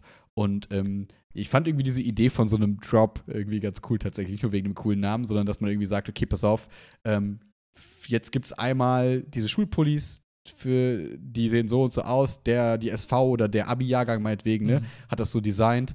Cool. So, und dann hat man die Verbindung und dann wird das in der SV so weitergereicht. Und wenn die dann wieder Bock haben, so in zwei Jahren oder so, dann macht man das nochmal. Ja. Und so. Und dann gibt es aber nur da und oder man kann das genauso gut anders aufziehen und sagen, okay, wir designen einen Pulli, wir wollen quasi Einheitlichkeit, der wird jetzt einfach zehn Jahre wird dieser Pulli bereitgestellt, bis irgendwann mal der keiner mehr sehen kann, dann macht man nochmal einen neuen. Ja. Wenn, ich bin gespannt. Egal wie ich entscheidet, Leoprint und Neonfarben als Buchstaben. Just saying, nur ein Vorschlag. Alright. Was war nochmal, ähm, was war nochmal damals zu unserer Bilder, was wir typisches gebaut haben? Was war da nochmal die Farbe? Äh, Aprikot? Nee, ähm, nee. Rhabarber. Rhabarber war das Ding, genau. Und danach war es welches Grün? Tank. weiß ich nicht mehr. Das habe ich verdrängt. Das habe ich verdrängt. Willi Wiedergold am Zahn der Zeit der Farblehre. Das ist ja, es, mein, gibt, mein es gibt immer so eine Website, da gibt es die Farbe des Jahres. Vor ein paar Jahren war es mm. Rhabarber. Was ist. Ich glaube, im letzten Jahr war es tatsächlich so ein Orangeton oder so. Ich weiß gar nicht. Ich weiß gar nicht. Geil. Color so of the Year. Oh, das klingt wie so Battle of the Year. Color of the Year. 20. Gibt es da so ein, so ein Epic Fight? Oh, Ultimate Grey ist die Farbe des. Geil, passt, zum, passt 21, zu dem Jahr. Ja. Ach, 21 ist es. Okay. 21 ist, oh, ich glaube, es gibt mehrere. Es gibt einmal so einen Gelbton, So ein Grau und ja, Gelb und Grau. Pas ein pastelliges Gelb und ja, Grau. Ultimatives Grau. er muss einfach nur den richtigen Namen davor packen, dann ist eigentlich jede Farbe geil. So Ultimate Blue. Das, ja. Mhm. Ultimate Ja, das wollte ich, äh, Gymnasium, HBG. Mm, UHBG. Wir sind äh, digitiert. Äh, DHBG. Then generated. nee, digital, Alter. Mm, Digital HBG. Sehr gut. Sehr gut. Das HBG, das D steht für digital. genau. Ähm, ja, das war nur so ein bisschen der kleine Einblick in den Flossiger Stammtisch. Ähm, das ist, ähm, ja, fand ich, war auf jeden Fall echt ein netter Abend und ähm, hab mir gedacht, okay, das ist ein ganz spannendes Thema, wo ich mir selber, wo ich einfach nicht so die richtig, also wo ich da selber so merke, da äh, ähm, habe ich nicht die perfekte Meinung zu. Also da weiß ich selber so, ich stehe irgendwie dazwischen und kann mich Mhm. irgendwie nicht entscheiden zu sagen, ist das jetzt sinnvoll oder ist es nicht sinnvoll, weil mir ist es so für beide Seiten halt relativ egal. Also ich, Mhm. das ist jetzt nicht, dass die Schule da irgendwas großartig von hätte oder die Flowstickers oder so, sondern eher so, macht es Sinn? Oder ist es sogar nachher für jemanden quasi kontraproduktiv so, Mhm. ne? Also sich mir dann so vorzustellen, ob das nicht eher sogar schlecht für die Flowstickers ist und so. Ja, fand ich ganz interessant, mal da so ein bisschen rumzudenken. Ich glaube, das geht auch nur abschließend, wenn du die, also die Ziele der jeweiligen Partei auch kennst. Wenn du sagst, die Flowseekers wollen das mit ihrer Marke erreichen, die Schule will das mit ihrem Merch Store erreichen. So, und dann kannst du es überhaupt Ja. erst abwägen, sonst ist es ja dann persönliche Geschmackssache am Ende des Tages. Ja. Absolut richtig, absolut richtig. Ja. Mhm. Ähm, ich habe hier au- auf meiner Liste noch äh, einen Punkt, über den wir reden müssen. Okay, ich bin bereit. Ja, wir sind wahrscheinlich jetzt ein bisschen, wir sind ein bisschen late to the party, Wie aber immer. die letzte Woche war dominiert von, äh, von Diamanten, von Händen, von Affen und von Reddit. das, die ersten drei Sachen habe ich nie verstanden, aber Reddit kenne ich. Ja, ähm, es geht um, ich glaube, selbst, also das wär, ist, glaube ich, so ein Thema, das mittlerweile so selbst, das ist nicht böse gemeint, aber selbst so meine Eltern mitbekommen haben, obwohl das quasi so aus den Tiefen des Internets kommt und von so Reddit in, in, in die Gesellschaft gespült wurde, dass auf einmal die Nachrichtensender auch voll damit waren, dass der, der Reddit-Kanal quasi, das Forum, ähm, Wall Street Bets und ähm, also quasi zu Deutsch ne, so Wall Street Wetten. Also das ist so ein, so ein Reddit, ähm, da habe ich auch schon, da haben wir beide auch schon mal irgendwann mal reingeguckt, irgendwann vor zwei Jahren, drei Jahren, da guckt man immer mal, also da ist man schon mal so drüber gestolpert. Und das sind einfach irre Menschen, die sagen, okay, komm, äh, und die da quasi eigentlich eher so ihre, ihre super riskanten Aktientipps so reinposten. Was heißt Mhm. Aktientipps? Sondern die posten da rein, ich bin jetzt mit eine Million in Teldafax reingegangen oder keine Ahnung Mhm. was. Und danach halt sich mega freuen, wenn es geklappt hat oder halt dann sagen, ja, ist halt weg, keine Ahnung. Mhm. Und das Verrückte ist halt, dass das sind halt nicht so, wie soll ich sagen, das sind halt nicht nur so Leute wie du und ich, die dann vielleicht da mal ähm, so ein bisschen Kleingeld quasi dann so reinstecken, sondern das sind halt Leute, die posten da ihre Portfolios mit irgendwie 10 Millionen und haben sie jetzt keine Ahnung wo und so reingelegt und so. Es ist halt so, äh, es sind halt irgendwie so ein bisschen Wahnsinnige. Und die selber, die Typen selber, kommunizieren gefühlt da nur in Memes und sind so, ja, wir sind so Autisten und so degenerierte Affen Mhm. und keine also die, sind, die, die leben halt voll dieses Meme-Game, dass Okay. sie sich selbst so als die vollkommenen Vollidioten besch- beschimpfen, aber dann trotzdem irgendwelche kranken Sachen machen so. Also eigentlich was, was niemand auch nur im Ansatzweise irgendwie beachten würde, Okay. wenn nicht auf einmal einer von denen ähm, quasi, äh, ich glaube, der hieß äh, Deep Fucking Value, äh, ist, glaube ich, der, der, der, der Name von dieser Person, der angefangen hat zu sagen, hey, pass auf, ich glaube, der hat auch einen YouTube-Channel, ich bin mir gar nicht sicher. Ich kaufe jetzt einfach mal für 4 Euro hier GameStop-Aktien, Mhm. weil ähm, die, also da haben die Aktien irgendwie 4 Euro gekostet, glaube ich, oder so, oder 7, bin ich ganz sicher. Jetzt, also, ne, alles, was ich jetzt erzähle, ist, also, ist, das ist ein riesengroßes, komplexes Thema. Ich versuche jetzt so ein bisschen zu vereinfachen, weil es uns einfach, ne, und da Mhm. mache ich bestimmt auch Fehler bei. Ähm, und ähm, weil es nämlich so ist, dass die GameStop-Aktie die Aktie ist, die am aller, allermeisten geschortet ist. Und geschortet, lieber Willi, heißt was? Wow. Ich gucke gerade Pass auf, ich, Ja, alles ich gebe dir meine naive Definition und du korrigierst einfach sonst, ja? ja, ja, ja. Oder was wolltest du gerade sagen? Ich gucke gerade einmal dieses Forum durch, um so einen Eindruck mal zu gewinnen. Also ich Mhm. scroll einmal durch, nicht wundern, warum ich für die ganze Seite gucke. Ja, aber aber ich, ich erzähle mal kurz, Ja. was geschortet heißt in meiner Welt. Ähm, Das heißt quasi, also diese Aktie ist anscheinend am Anfang zu 140 Prozent geschortet gewesen. Das heißt, mehr als die Aktien, die es gibt, wurden geschortet. Und geschortet heißt im Prinzip, glaube ich, sowas wie, also ganz einfach gesagt, du wettest darauf, dass der Aktienkurs fällt. Das heißt, alle Menschen, also die, diese, die Menschen, die die Aktie geschortet haben, das waren zum Großteil Hedgefonds. Ähm, was jetzt Hedge heißt, weiß ich ehrlich gesagt gar nicht, was vor dem Fonds, deswegen muss das, ich glaube einfach, das sind so Risikofonds meistens, oder was Hedge heißt, musst du gleich erklären. Ähm, das, Kannst du schon sagen? Achso, ja, mach du ruhig zu Ende, dann kann ich. Okay. Ja. Ähm, und ähm, die haben diese Aktie quasi, äh, die haben darauf gewettet, dass diese GameStop-Aktie noch weiter fällt. Was von dem Produkt her total wahrscheinlich ist. Also, weil das Produkt GameStop einfach nicht geil ist und die Aktie wahrscheinlich weitergefallen wäre, mhm. also ins Bodenlose so. Das heißt, die haben quasi das gemacht, was sie eigentlich immer machen, haben darauf gewettet, dass Unternehmen, die scheiße, also die, sage ich mal, aktienmäßig scheiße dastehen und jetzt auch so, weiterfallen. So, mhm. völlig normales Vorgehen. Nur ähm, ist diese Aktie halt, wie gesagt, die gewesen, die am allermeisten davon betroffen war, dass da Leute darauf gewettet haben, dass sie fällt. Und jetzt versuche ich naiv Shorten zu erklären. Und zwar ist es, glaube ich, so, dass Leute sagen: Pass auf, XY, okay, pass auf, ich gebe dir jetzt Geld. Du gibst mir deine Aktie. Und dann warte ich und fallen. Nein, Moment leihe mir deine Aktie und sage dir, ich gebe die dir irgendwann wieder. Und ich sage, ah, genau, ja, genau, genau, genau, genau. Und dann sage ich ja, also zum Beispiel, du hast jetzt die Aktie gekauft für 100 Dollar. Und dann sage ich dir, komm, leih mir die mal. Ich gebe dir da wahrscheinlich Geld für, keine Ahnung. Und, äh, scheiße, es ist, ah, fuck. Aber egal, ich versuche es zu Ende zu bringen. Ähm, so, leih mir deine Aktie. Und ich gehe davon aus, dass der Kurs der Aktie fällt. Das heißt, ich werde dir irgendwann, ach genau, und ich verkaufe die Aktie weiter so, das heißt, ich habe mir was von dir geliehen und verkaufe das weiter. Das heißt, ich habe das Produkt nicht mehr. Aber ich weiß ja, dass die Aktie fallen wird. Also das wette ich ja. Das heißt, ich weiß, dass wenn ich jetzt die 100 Euro von dir gekauft habe oder geliehen habe oder wie auch immer geliehen habe und die dann verkaufe, habe ich 100 Euro bekommen und ich kaufe die einfach wieder, wenn die jetzt auf, 100, auf 10 Euro ist, weil ich weiß, oder weil ich darauf wette, dass die fällt, kaufe ich die für 10 Euro einfach wieder ein, gebe sie dir wieder und habe dann quasi 90 Euro Gewinn gemacht. Ganz grob? Mh, mh, mh. Vielleicht nochmal, ich glaube, das einfache Konstrukt, lassen wir mal das mit dem, mit dem, ich leihe mir was einfach mal weg. Okay, danke. Wie, also ich, ich, ich glaube, es gibt ein einfacheres Instrument, um das zu erklären. Gerne. Aber das, im Ergebnis ist dasselbe. Ähm, du und ich, wir machen jetzt einen Vertrag. Ich sage, äh, lieber Max, äh, ich hätte gern die Möglichkeit, äh, 200 Aktien in fünf Monaten zu kaufen oder zu verkaufen. Das ist, was man Optionen nennt, oder? Genau, so. Und mhm. was man heute schon festlegt, ist der Kurs, zu dem ich zu dem Zeitpunkt kaufe oder verkaufe. Mhm. Den legt man heute fest.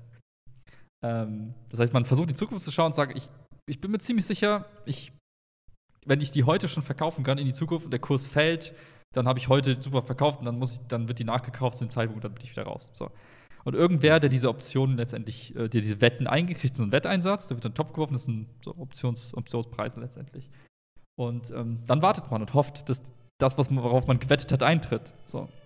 Und wenn alle glauben, dass der Kurs irgendwann ins Bodenlose fällt, dann kannst du dir entsprechend diese Optionen kaufen, die dir ermöglichen, halt darauf zu spekulieren und dann halt einfach zu sagen, ja, ich bin mir sicher, der fällt, also kauf die Option, dass, dass der Kurs im Keller ist und habe entsprechend den Ausgleich von dem Preis heute, den ich festgelegt habe, und das ist mein Gewinn. So. Aber wer bietet dir die Optionen dann an? Weil im Prinzip wäre ja jeder doof, der dagegen dich wettet. Weil das ja sehr, sehr klar wäre, war oder ist eigentlich, dass diese Aktie quasi weiterfällt. Ist es dann eine Bank oder ist es, weil das bin ja nicht ich und du, das sind ja keine normalen Anleger, weil ich kriege ja nicht auf einmal eine Anfrage, äh, User XY möchte gerne wetten, möchtest du mit ihm wetten? Ja, es ist, also gerade diese Optionsgeschichte ist äh, relativ standardisiert weltweit. Also du kannst quasi an, an öffentlichen Handelsplätzen, an der Börse letztendlich, kannst du halt hingehen und sagen, ich möchte gerne Optionen letztendlich handeln.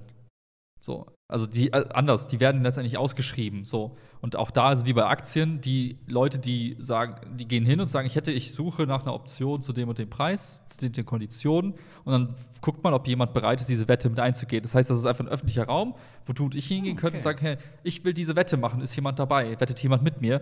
Und dann wird meistens relativ standardisiert quasi gesagt, okay, eine Wette muss mindestens so und so viele, äh, so viel Gewinneinsatz haben, sonst wird gar nicht gewettet. Und die anderen, ich sag mal, Rahmenbedingungen der Wette sind auch standardisiert. Das heißt, das Einzige, was man so ein bisschen schraubt, ist die Laufzeit der Wette und den einen Wettein und den Preis der Wette. Das sind so die, die Variablen, an denen man so schraubt. Das heißt, du kannst, Okay, wie wenn heißt, du, du brauchst doch ein Gegenüber. du brauchst immer ein Gegenüber, genau. Weil du brauchst Okay, ja irgendwen, der mit dir wettet. So. Ja, ich dachte, das wäre vielleicht so eine Bank, die halt immer sagt, okay, wir geben immer Optionsscheine raus, egal was, also die sind einfach unbegrenzt verfügbar und so, aber das klingt jetzt eher nach, du brauchst schon ein Gegenüber, einen menschlichen Part irgendwie so. Ja, gegenüber. also Mensch, es kann auch, es können auch Banken mitwetten. So. Also es kann ja jeder mehr oder Mhm. weniger mit daran teilnehmen. Und es gibt, das gibt es an der Börse genauso. Es gibt auch extra äh, ja, Finanz, sagen wir, Institute, je nachdem, was es dann ist, die so ein bisschen den Market Maker spielen, die quasi sagen, es gibt eine Börse und wir wollen dafür sicherstellen, dass einfach ein gewisser äh, Liquiditätsfluss da ist, also dass genug Teilnehmer im Markt sind. Und die gehen letztendlich hin und versuchen so in beide Richtungen Wetten zu platzieren. Dass die selber nicht das Risiko tragen, aber gucken, dass genug Wetten im Raum sind, dass genug Leute dann auch mit dran teilnehmen. Die versuchen ein bisschen damit dieses Geschäft weiterläuft Exakt, quasi. Die gibt's, ne? Und das heißt, da können auch Banken dahinter hängen oder größere, weiß nicht, Fonds, die dann sagen, hey, wir sind jetzt, die, ne, die müssen dann auch zur, zur Börsenaufsicht und sagen, ja, ich bin jetzt so ein Market Maker, möchte ich gerne sein, ich habe genug Kohle, ähm, lass mich doch ein bisschen hier für Liquidität sorgen und die kriegen so ein bisschen Provision dadurch, dass sie eben den Markt liquide halten. Und ich glaube, an dem Punkt sind wir auch, jetzt sind wir an einem Punkt, wo, was die Antwort auf eine Frage ist, die ich dir gleich noch stellen werde. So, warum? Weil äh, im Prinzip könnte man, und das wurde ja auch so ein bisschen so verkauft, könnte man sagen, das waren quasi, und das war einmal diese Schlagzeilen, die Kleinanleger gegen die großen bösen Hedgefonds. Die großen bösen Hedgefonds, die dafür sorgen oder die sagen, dieses Unternehmen stürzt ab und ich verdiene Geld damit, dass unser Unternehmen pleite geht. Ich bin böse, weil ich Mhm. verdiene Geld mit Leid von anderen. So, ganz plakativ jetzt gesagt.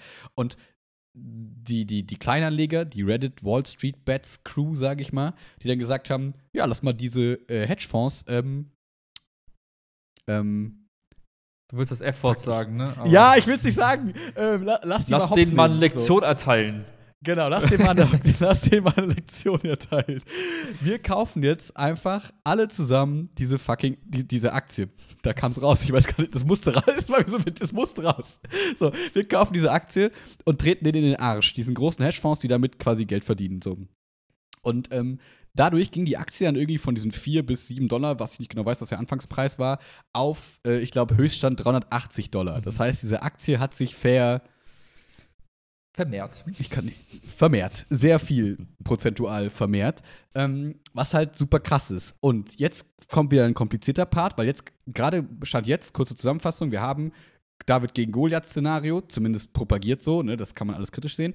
Ähm, die großen bösen Hedgefonds wetten auf GameStop stirbt und die Aktie fällt. Die Hedgefonds, äh, die, die, die Reddit Wall Street-Leute kaufen die Aktie, sorgen also genau für das Gegenteil. Und jetzt ist die, die Taktik dahinter war ja von, ist von denen, denen in den Arsch zu treten. Immer mehr Synonyme, die mir gerade in den Kopf kommen.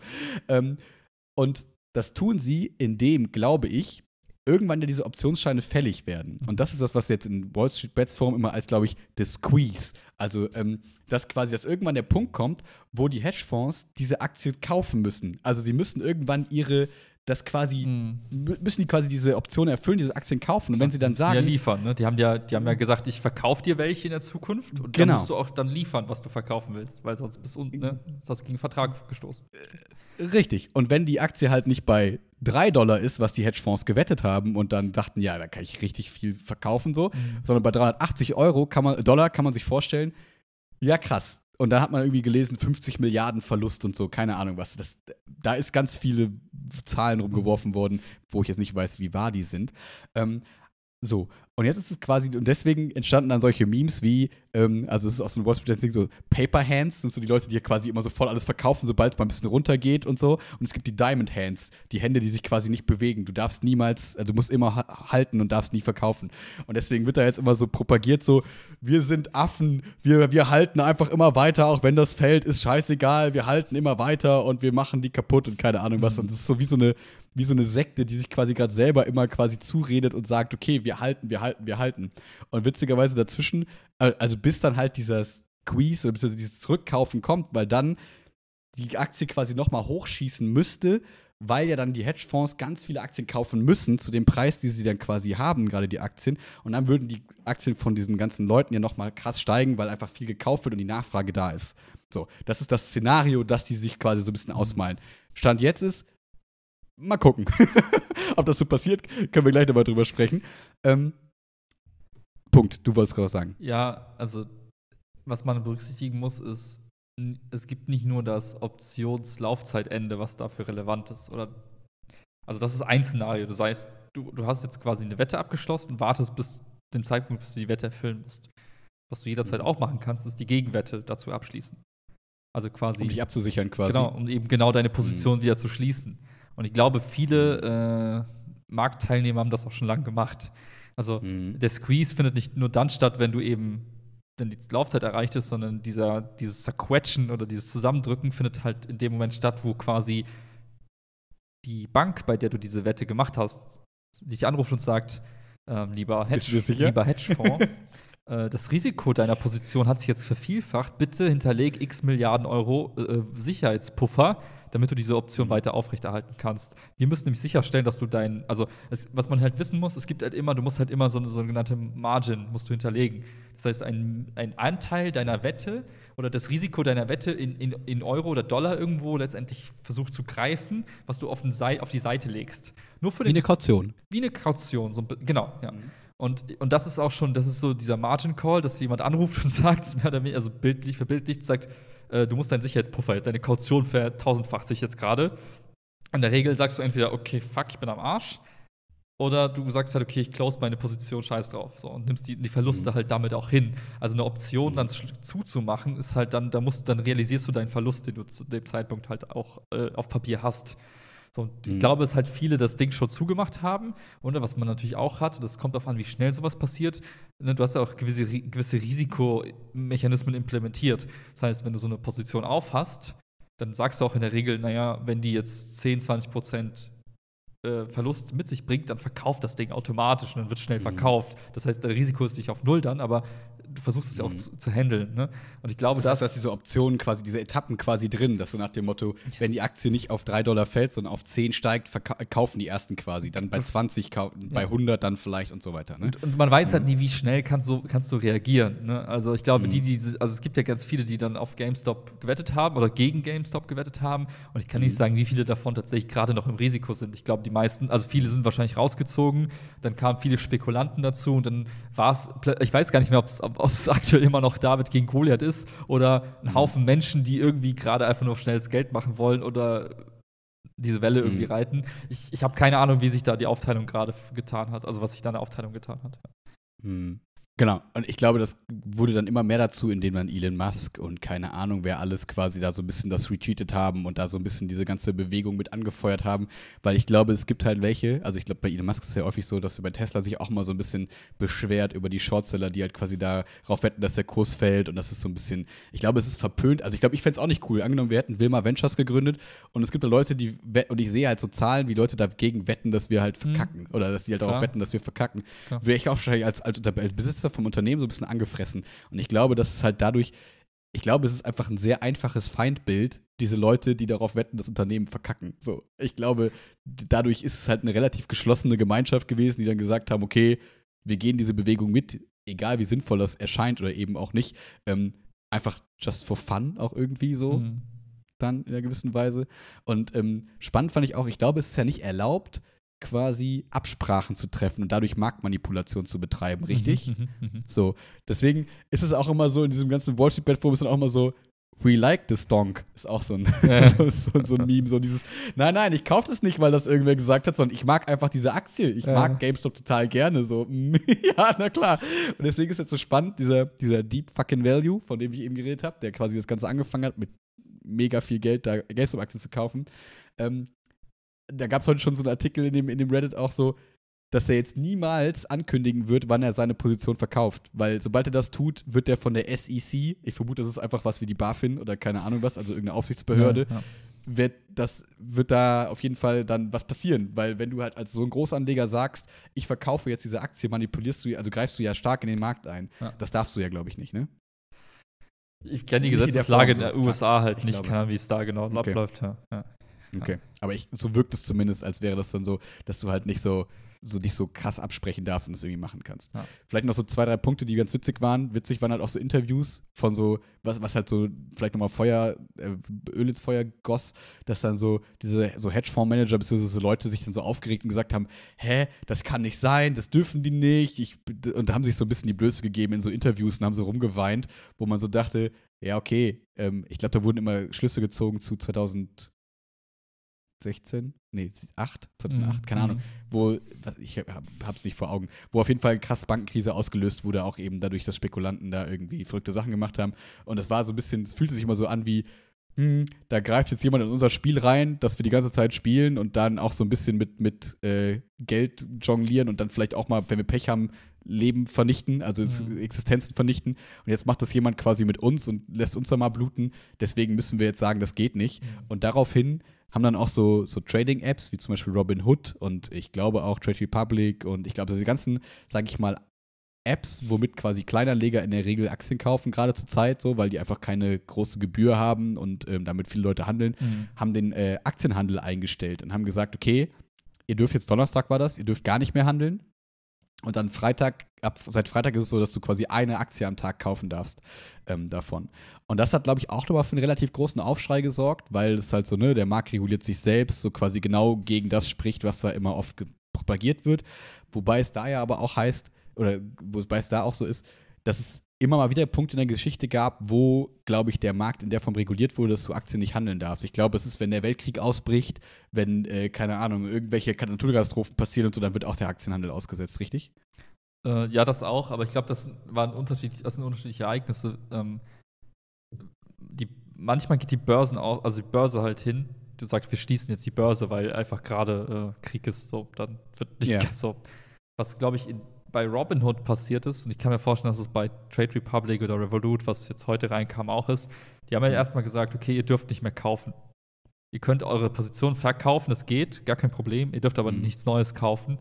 Und ich war, also ich habe in dem Interview von Elon Musk und dem Chef von Robinhood war es so, der hat erklärt, was bei denen los war.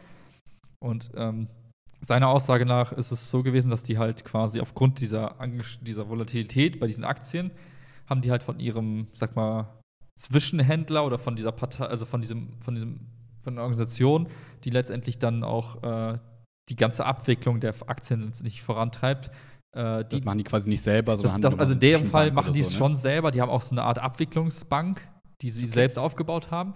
Und diese Abwicklungsbank muss letztendlich bei irgendeiner, irgendeiner Aufsichtsbehörde oder bei so einem halb privaten Aufsichtskonstrukt, das ist jetzt so amerikaspezifisch, aber es gibt es wahrscheinlich in Europa genauso, Mhm. äh, müssen die halt auch immer wieder so Sicherheitspuffer hinterlegen.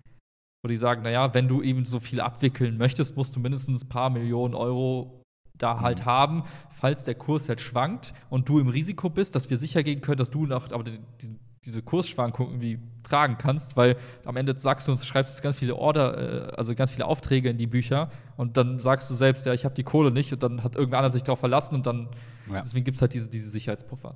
So.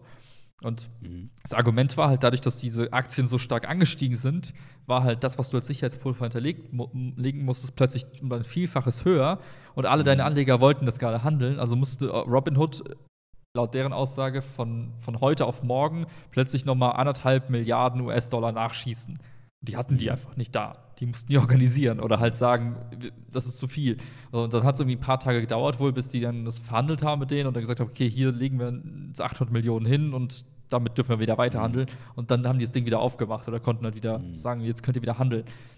So die Version letztendlich. Und dann war die Frage noch da, gut, wer, wer diktiert euch diese Formeln und wer kontrolliert, wie, also wie hoch diese Sicherheitshinterlegung sein muss. Und das war so ein bisschen unklar, wer genau da wie bestimmt, wie hoch die Sicherheitspuffer da sein müssten. Okay. Aber ich glaube, das war halt auch in Europa der Hauptgrund dafür, dass die gesagt haben, scheiße, wir können es nicht hinterlegen, also können wir die auch nicht handeln. Sorry, Mhm. ist doof gelaufen. Ja, es, es ist interessant, weil, also genau, ich, ich bin mal gespannt, was da jetzt so in, in einem Jahr oder so, was dann da rauskommt, was da quasi, also es hat sich irgendwie schon angekündigt, Netflix und so werden da irgendwie wahrscheinlich einen Film drüber machen und so. Hm. Das ist ganz witzig, sind von Klar, drauf gesprungen. sofort. Der nächste Wolf of Wall Street und so, Wolf of Wall Street Bets. ähm, ähm, ist ganz interessant, was dann rauskommen wird, ob wer da quasi, also wie soll ich sagen, weil es gibt ja auch, also ne, kann man sich ja vorstellen, die Verschwörungstheorien sind natürlich, die Hedge- Hedgefonds haben krass Druck gemacht auf diese, auf diese Anbieter und haben gesagt, hier, pass auf, wir geben euch mal ein bisschen Geld, lasst die mal ein bisschen langsamer traden, lasst die mal nicht so handeln, damit wir unsere Position closen können und so weiter und so fort. Was ich mir nicht vorstellen kann, aber ich bin mal gespannt, weil was da nachher so rauskommt, ob es quasi langweilig ist und es ist einfach nur der Grund oder ob es quasi irgendwelche verrückten anderen Gründe gab mit irgendwelchen shady Deals hinter den Kulissen, was da so abging. Ja. Ich, also auch da wieder, ne? Ich glaube, das Thema Tempo ist da entscheidend. Ich glaube, es dauert einfach, also ich glaube, wenn du drei, Jahr, drei Tage versuchst, ein paar der Apps zu schließen. Und muss ja auch vor Augen führen, also ich, ich weiß nicht, wie die Verteilung ist, aber nur wenn du Robin, wenn du Robinhood klar, platt machst, aber dafür die anderen 20 Apps immer noch diesen Handel durchführen, dann hast du als Hedgefonds, glaube ich, nicht so viel gewonnen. Ähm, Mhm. Jetzt die Frage, waren alle, die in Wall Street Bets unterwegs sind, alle auf Robinhood? Fragezeichen. Keine Mhm. Ahnung. Das sind, glaube ich, die spannenden Fragen, die man eigentlich beantworten müsste, um das wirklich bewerten zu können, was Ja, es jetzt klar. war. Ähm, ich glaube, ich glaube, da wird auch schnell einfach mal eine coole Story gesponnen, die einfach cool klingt. Und es klingt ja auch cool, ne? David gegen Goliath. Und am Ende des Tages muss man sich einfach die Frage stellen, also was ist moralisch jetzt besser? Ob es jetzt eine Institution macht oder ganz viele Kleinanleger? Am Ende des Tages wettest du quasi auf, auf ein Schicksal von einer Firma, die wiederum äh, Mitarbeiter hat, die wiederum Kinder haben, Familien haben und so. Und das ist so ein bisschen wie auf Menschen wetten am Ende des Tages, weil du wettest ja nicht auf eine reine Maschinenfirma irgendwie. Und Mhm. ja, das ist so. Es, für mich gibt es da keinen Guten oder keinen Bösen. Es gibt einfach nur einen Haufen Menschen, die irgendwie komische Spielchen spielen und irgendwelche Wetten abschließen. Ich mir denke, macht halt was Produktives, tut irgendwas Sinnvolles, aber das hilft halt niemandem, außer dem, der dann irgendwie davon profitiert und vielleicht reich wird und sich dann denkt, hey, cool, Stonks. Also, what Ja. the fuck? So. Ge- ge- Genau, ge- genau, das Spannende, um diese Frage eben noch kurz äh, dann auch letztlich äh, zu klären, ist ja so ein bisschen, da müssen wir eben die Frage beantworten, sind Hedgefonds quasi böse oder nicht? Und da hat sie, da, da ist natürlich so, das wurde immer programmiert, pro, programmiert, propagiert, als wären die die Bösen. Und du hast ja eben schon so ein bisschen erklärt, ähm, dass dieses, dass das Shorten quasi und dieses ganze Optionsgame und so weiter und so fort eigentlich auch vielleicht einen Sinn hat. Kannst du das noch mal kurz so ein bisschen vielleicht erklären, dass die halt das so nach dem Motto, das sind nicht einfach böse Menschen, die da zu Hause sitzen und sagen, ja, wir wollen, dass die Welt brennt und alles untergeht, deswegen wetten wir darauf, dass GameStop stirbt und hoffen, dass alle Menschen Lepra kriegen. Also die, die Idee eigentlich, ich weiß nicht, ob ich das schon mal erzählt habe, die Idee von solchen Optionsgeschäften kommt, glaube ich, ganz, ganz ursprünglich aus dem Lebensmittelhandel. Wo du gesagt hast, groß, große sag mal, ähm, Pharma, Unternehmen oder auch der, der Bauer um die Ecke, der geht hin und sagt, hey, diese Ernte, die sichere ich jetzt ab, den Preis für meinen Weizen. So, und deswegen mache ich eine Wette in die Zukunft und zu wissen, heute ernte ich das, also in zwei Wochen ernte ich das und egal, was mit dem Pre äh, Weizenpreis passiert in den nächsten fünf Monaten, ich weiß, ich kriege das als Ergebnis. Deswegen sichere ich Mhm. mein, meine Ernte damit ab mit so einem, so einer Art, also so einer Art Wette, wenn man so möchte. Und, oder auch für, für Leute, die in, in äh, Metall oder irgendwelche seltenen Erden abbauen, die sagen, hey, wenn ich heute diese, in diese Mine investiere, will ich, dass ich in 20 Jahren immer noch den gleichen Preis fürs Gold bekomme, deswegen sichere ich den Preis für Gold ab. So, Mhm. das ist jetzt ein bisschen übertrieben von den Mhm. Laufzeiten, aber so von der Idee her, ne? Ja, was man verstehen kann, genau. Es geht eher um positives Absichern. Es geht, also, Planungssicherheit haben. Ja. Mhm. Ne? So, das ist die Grundidee. Und da gibt es auch irgendwie, ergibt es ja auch Sinn. Du investierst in etwas, zum Beispiel äh. Saatgut. Du willst natürlich auch am Ende, den, wenn es Weizen gibt, willst du den auch für den Preis verkaufen. So. Ja, klar. Und Mhm. daher kam, also das ist die Grundidee dieses Instruments. So, und dann, Mhm. äh, klar, über die Zeit haben es Leute auch für andere Dinge benutzt. Beispielsweise, ich verwalte jetzt dein Vermögen, beispielsweise. So. Dann Kein Problem, mach ruhig. so mache ich jetzt, ne? Jetzt habe ich das verwalte ich das für ein paar tausend Leute und dann sage ich, ja gut, diese Menschen haben gesagt, die wollen nicht so viele Schwankungen haben. Und das Schöne an solchen so Optionen oder so Optionsgeschäften ist, du kannst halt mit du kannst halt mit Hebeln arbeiten. Das heißt, ich nehme, sagen wir, Das kenne nur von CFD-Trading aus YouTube-Werbung. aber, s- s- mal angenommen, ich verwalte 100.000 Euro Vermögen. Ja. So. Und die könnte ich für, sagen wir mal, 1000 Euro, könnte ich sehr viel Schwankung abfedern, indem ich quasi gegen mein eigenes Portfolio wette. Sagen wir, ich Mhm. 100.000 Euro in Tesla-Aktien und sage, ich wette gegen Tesla. Das heißt, wenn Tesla fällt, gewinne ich damit und gleiche damit den, den Fall von Tesla wieder aus beim Rest. Das heißt, ich Genau, weil ich gewinne ja auch, wenn Tesla steigt. Genau, also glättest Weil du ja eigentlich Tesla dein, bin, ja. deine Schwankungen in deinem Portfolio. Mhm. Das nutzen auch relativ viele, weil die sagen, hey, meine Anleger, die in mich vertrauen, mögen keine Schwankungen und deswegen Mhm. ne, dippe ich das ein bisschen ab. Oder man sagt, oh, da ist jetzt demnächst dieser Brexit, da könnte viel Schwankung passieren. Ich sichere mein Portfolio ab, weil meine Anleger das nicht doof. So, das ist schon so ein Mhm. kruder Gedanke, aber gut, da kannst du auch noch argumentieren. Und dann gibt es halt wiederum die, die sagen, kannst ganz kurz, das ist so wie Leute, wie so Fußballfans, die sagen, ich, äh, keine Ahnung, Frankfurt spielt gegen Berlin, ich setze Geld auf Berlin, damit ich mich in beiden Fällen freue. Wenn, wenn Berlin gewinnt, dann habe ich Geld verdient und wenn Frankfurt gewinnt, freue ich mich. Genau, das ist so, wenn du dich nicht entscheiden willst, nimmst du halt, dann kannst du zwar nicht gewinnen, aber auch nicht verlieren und dann bist du halt, ne, dann spielst du immer gut. Ja, Genau. genau. So, das ist die andere Seite der Medaille. Und dann gibt es Mhm. diejenigen, die sagen, ich nutze das Ding eigentlich nur zum Spekulieren. Die dann Mhm. sagen, hey, ich habe nicht mal die Aktie, ich will auch nicht irgendein Lebensmittel oder einen Rohstoff absichern. Ich, mir geht es einfach nur um schnelles Geld zu machen und mit möglichst wenig Kapitaleinsatz einfach viel zu bewegen und einen großen Hebel zu haben. So.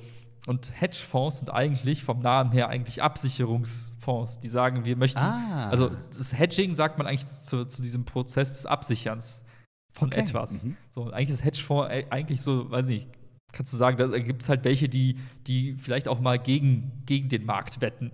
Wo du sagst, Mhm. ich kaufe zum Beispiel einen normalen Fonds und der Hedgefonds und der wettet gegen den Markt. Das heißt, wenn ich mit der einen Wette nicht Mhm. gut bin, habe ich den Hedgefonds, der wettet dagegen. So ganz also der MSCI World und der Anti-MSCI World. Beispielsweise, ne, so wie Mhm. normale Materie und dunkle Materie. So, keine Ahnung, wenn die zusammenkommen, entsteht keine Ahnung, what the fuck. Ergibt Ja, keinen Sinn. ja, aber ja. so ist so die Idee. So, und, Ja. Und klar, ein paar Hedgefonds, und das ist ein bisschen die Natur dessen, die sagen halt zum Beispiel, ja, ich bin mir ziemlich sicher, dass das nicht gut geht, also wette ich da drauf und kann für meine Anleger die meiste Kohle daraus schlagen. So, Mhm. erstmal was relativ Neutrales, weil wenn, die, wenn es offensichtlich ist, dass GameStop pleite geht, weil dieses Geschäftsmodell kein, keine Zukunft hat, dann gut, kannst dich da raushalten oder du wettest halt dagegen. So. Mhm. Äh, dieses Dagegenwetten hat eigentlich nur den Zweck, dass du einfach Kohle damit machst. Mhm. Ne? Und, da, und da kannst du, also ich persönlich würde sagen, man halt dich halt einfach raus, dann lass die halt pleite gehen, aber wette doch nicht Mhm. darauf, dass es jemandem schlecht geht. Ja. So, ne? Dann guck dir doch die raus. Also, das ist eine so eine moralische Frage, die dahinter steckt. Also, eigentlich, eigentlich ist dieses Instrument geboren als etwas Gutes, um Leuten Planungssicherheit zu geben, bis hin zu, zum Tag jetzt, wo es einfach nur noch ein Spielzeug ist, wo Leute einfach Wetten abschließen Mhm. in der Hoffnung, sie machen schnelles Geld.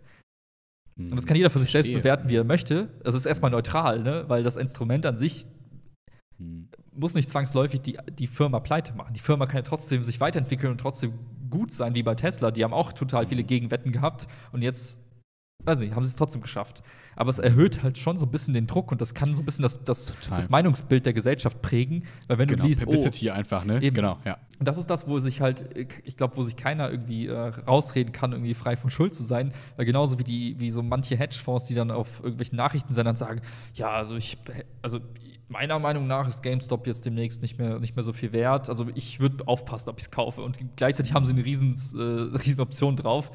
So hat auch Reddit das gleiche gemacht, nur in die andere Richtung. Ja. So. Und Ja, ja, ja. ja.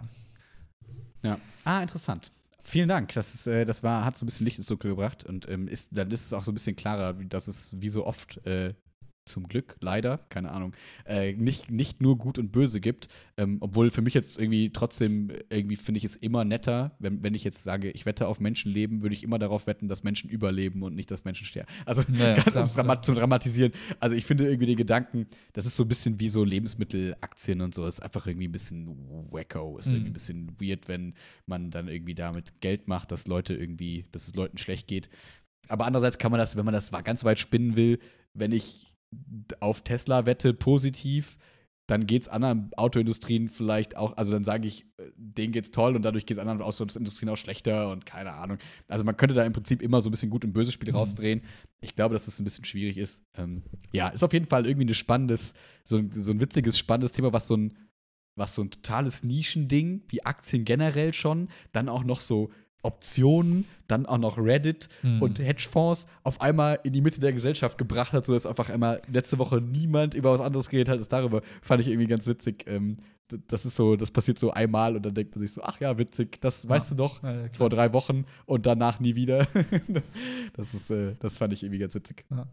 Es ist so schade ist, ich glaube, das ist auch ein paar jetzt passiert, also es ist bestimmt mit Sicherheit irgendwie passiert, dass einfach Leute, dass sich so, weiß ich, das gesehen haben und sich dachten, boah, geil, da kannst du ja echt schnell Fall. Kohle machen. Auf und sich Fall. dann jetzt die Finger verbrannt haben, sich gedacht, ja, scheiße, die Aktien sind voll gefährlich. Voll. Und da denke ich mir so, also ich weiß nicht, ich finde das voll anstrengend, diese ganzen, immer in diesem, in diesem Spekulation. Ich finde Spekulation einfach anstrengend, genauso wie ich eine Ja. Wette an sich anstrengend fände. Deswegen bin ich da komplett raus, denke mir so, Ja. macht ihr mal. Ja. Kann ich total verstehen. Ich glaube, das ist auch so ein bisschen was, so ein Grundgedanke, der zwischendurch mal so aufkam. So dieses, ähm, du hast halt hinter Wall Street Bets, die Leute haben nicht umsonst die, sag ich mal, die Großen da drin, haben nicht umsonst so viel Geld. Ich glaube, dass da auch viel so nach dem Motto, ja, ja, wir halten und wir steigern und so weiter. Und ich, wenn du, wenn, die sind wahrscheinlich Leute, die beschäftigen sich mit nichts, an nichts anderem, die sind relativ smart und können ganz gut abschätzen, wann die dann verkaufen sollten. Dann machen, sage ich mal, 10% aus diesem Reddit unendlich viel Geld und die anderen 90% sind hart gebumst und denken sich, ja, fuck, und die haben sich mitziehen lassen und Ja, durch dieses ganze genau. Aufruhr und so weiter und so fort. Und ähm, könnte man auch unterstellen, bevor man zu groß sagt, naja, die guten Kleinen gegen die großen Bösen. Ich glaube, dass da ganz viel Eigeninteresse in allen Richtungen irgendwie auch mitgeschwungen ist, irgendwie. Ja, klar, klar, auf jeden Fall. Und ähm, Wäre ja. komisch, wenn ich. Ich, ich glaube, da wird halt sehr, sehr stark dieser David gegen Goliath-Gedanke romantisiert und dann heißt es, ja, guck mal, ja. die Kleinen gegen die Großen und die Bösen gegen die Guten. Alles Konzepte, die wir Menschen irgendwie uns ausgedacht haben und in dem so zu einer coolen Story spinnen, aber ich glaube, bei Tageslicht sind einfach alle gleich beschissen. Also warum macht ihr nicht was Sinnvolles? So? Hm. ja. ja. Ja, das war, das war auf jeden Fall noch was, was ich äh, ganz gerne mal so ein bisschen, weil das finde ich immer ganz cool, dass du da so ein bisschen äh, zumindest ein bisschen mehr zu erklären kannst, als einfach nur das äh, totale Halbwissen von mir. Das äh, fand ich ganz cool. Vielen Dank. Ja, mein Wissen auch nur mit Disclaimer, ne? Also ich weiß es. So, genau, also ich, ich habe euch jetzt geliefert, ähm, dass ihr die Memes versteht und Willi hat, hat, euch erklärt, wie man den Aktienmarkt versteht. also für die Person, die jetzt gerade zufällig reingehört hat, äh, ne? weißt du Bescheid. Ja, die, die, liebe Lynn hier, ähm, äh, die, eine von den, von den Handballzwillingen, von denen ich ihm erzählt habe, äh, die hat letztens auch, die hat irgendwie mir erzählt, so ja, dass sie das eigentlich total gerne hört und so, aber dass sie am Anfang, dass sie von Anfang an ange angefangen hat zu hören, unsere Folgen und dann ging es irgendwann so zehn Folgen nur noch um Aktien, hat sie keinen Bock mehr gehabt, hat sie so ein paar geskippt und dann hat sie irgendwann wieder reingehört. Jetzt ist sie wieder gut dabei und die hat sich wahrscheinlich auch gerade so gedacht, bah, hört mal auf, hört mal auf jetzt, hört mal auf. Ja, gut, wir reden über das Leben. Das war jetzt das Thema der, der, Woche, ja. Ja. ja. Ach, schön. Gut, dann haben wir heute äh, eine XXL-Folge äh, produziert. passiert. Eine XL-Folge. Ja. Und äh, damit meditieren wir uns jetzt weiterhin in den, in den Abend hinein. Um, um, und ähm, hören uns vielleicht Sonntag wieder. Okay, übertreibt. passt. Wie es passt. Macht's gut. Ciao. ciao, ciao.